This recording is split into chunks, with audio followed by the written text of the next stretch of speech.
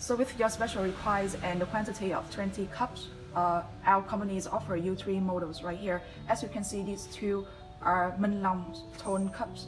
So they are different in the handles. This one is square handles and the, and the other ones is have a D shape. So the things with Minh Long cup is the, the rim is very thick and it's kind of hard when you hold it. Right, and at the end of it, have kind of a rim circle right here. And this one you see over here is much lighter and has a curved shape handle. It also slim in the rim and pretty easier to hold. With the BTV, uh, it's actually Bat Trang cups and they are not produced with, with less than 100 cups. So I don't think we can go with BTV cups.